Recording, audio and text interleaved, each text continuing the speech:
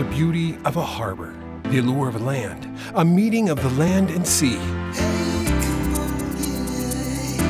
An extraordinary journey into a culture, the art, and nature of enchanting places.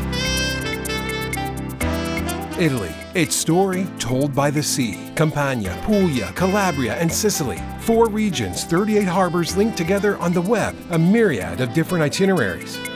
From Stabia Marina to breathtaking ancient Pompeii, a journey filled with sensations only history, frozen in time, is able to provide.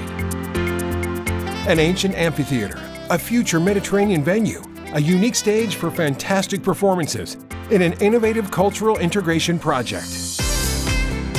Sicily, island of extraordinary ports, generously welcomes tourists coming from the sea, offering them the vast wealth of resources from its land, the splendor of places that are truly unique.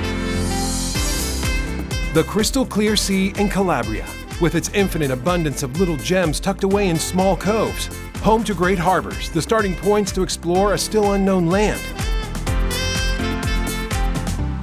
The colors and flavors of Puglia elegantly unfurl in its marvelous little towns, framing the coastline dotted with charming little beaches.